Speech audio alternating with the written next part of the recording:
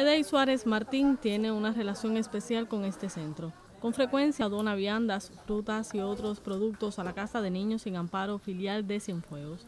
Con su esfuerzo contribuye a la alimentación de los pequeños, también en estos tiempos de coronavirus. Una de las cosas que me motiva es que eh, soy hijo de una señora que también se crió en un centro como este. Y hoy en este momento que estamos viviendo eh, es una de las cosas importantes apoyar a todos estos niños, apoyar a los ancianos, apoyar de la parte de nosotros lo que tenemos, colaborar con, con esta tarea.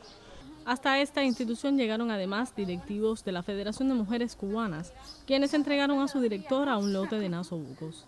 También el Centro Ambulatorio Especializado de Cienfuegos, que por estos días acoge a los pacientes sospechosos de padecer el coronavirus, fue beneficiado con la entrega de productos agrícolas. Esta tarea la hemos encomendado a través de todos nosotros, los productores de la empresa agropecuaria Urquita, y a través también de las producciones de los módulos pecuarios, que hoy el país ha decidido montar los módulos pecuarios para abastecer también a la situación de los trabajadores.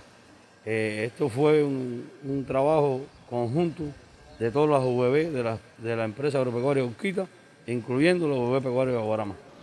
La empresa agropecuaria de Orquita proyecta realizar más donaciones para apoyar así el enfrentamiento a esta compleja situación epidemiológica que hoy vive el país. Ana González Figueredo, Notisur.